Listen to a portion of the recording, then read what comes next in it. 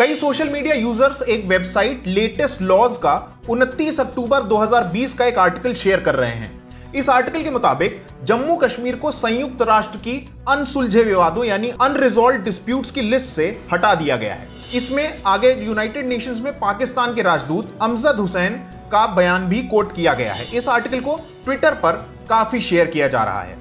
भाजपा समर्थक गौरव प्रधान और अभिनेता परेश रावल ने भी यह दावा शेयर किया।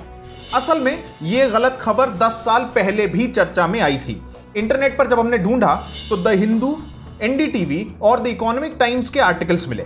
इन सभी में लगभग एक जैसा ही कंटेंट है। ये सारी रिपोर्ट्स पीटीआई यानी प्रेस ट्रस्ट ऑफ़ इंडिया की जनरल असेंबली सेशन 2010 के बारे में रिलीज़ की गई एजेंसी कॉपी पर आधारित थी।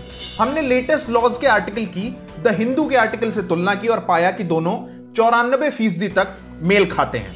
अगर लेआउट स्टाइल को छोड़ दें तो द हिंदू और इकोनॉमिक टाइम्स के आर्टिकल एक जैसे हैं।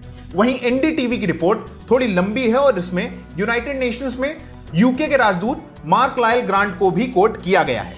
असल में उस वक्त हुआ ऐसा था कि 2010 की जनरल असेंबली में मार्क ग्रांट ने लंबे समय से चली आ रही खींचतान वाली परिस्थितियों का ज़िक्र करते हुए मिडिल ईस्ट, साइप्रस और वेस्टर्न सहारा का ज़िक्र किया था।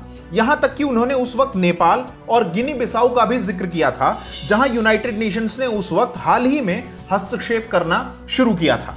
इस पर वहाँ मौजूद पाकिस्तान के प्रतिनिधि अमजद हुसैन सियाल ने कहा, ग्रांट ने अपने लंबे वक्त से चली आ रही विवादों वाली बात में जम्मू कश्मीर के मसले को जगह नहीं दी।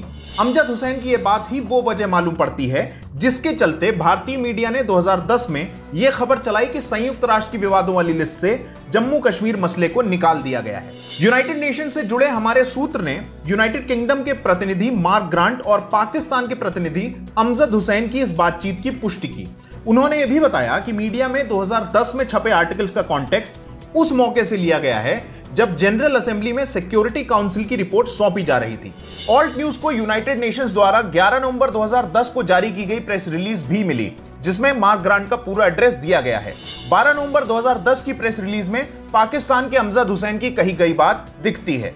इन दोनों दस्तावेजों में कहीं भी किसी भी ऐसी विवादों की लिस्ट का ज़िक्र नहीं था जो यूनाइटेड नेशंस के पास मौजूद हो। ऑल्ट न्यूज़ के संयुक्त राष्ट्र से जुड़े सूत्र ने एक और महत्वपूर्ण चीज़ बताई। उन्होंने बताया कि सिक्योरिटी काउंसिल में जम्मू कश्मीर का कोई एजेंडा है ही नहीं। वहाँ जो एजेंडा है, वो है इंडिया पाकिस्तान का। और डॉक्यूमेंट्स में इसे नाम दिया गया है द इंडिया पाकिस्तान क्वेश्चन और इसके बारे में भी आखिरी बार आधिकारिक रूप से साल 1965 में कोई मीटिंग हुई थी। सिक्योरिटी काउंसिल के पब्लिक डोमेन में उपलब्ध एक डॉक्यूमेंट के अनुसार भारत पाकिस्तान के नाम वाले किसी भी मसले पर साल 1971 में आखिरी बार बातचीत हुई थी। यह वो साल था जब भारत पाक युद्ध के बाद ईस्ट पाकिस्तान अलग होकर बांग्लादेश बन गया था। इस मौके पर आधिकारिक दस्तावेजों में जो एंट्री हुई थी वो the situation in the India Pakistan subcontinent नाम से हुई थी। हमारे सूत्र ने हमें बताया कि इस लिस्ट में वो सारे मसले हैं जिन पर कभी न कभी कोई बात हुई है और जो अभी भी एक्टिव हैं और इस लिस्ट में हर बार इंडिया पाकिस्तान का मुद्दा जुड़ जाता है, क्योंकि हर साल पाकिस्तान जनवरी में एक खत लिखकर इस मुद्दे को लिस्ट में रखे जाने की दरख्वास्त करता है।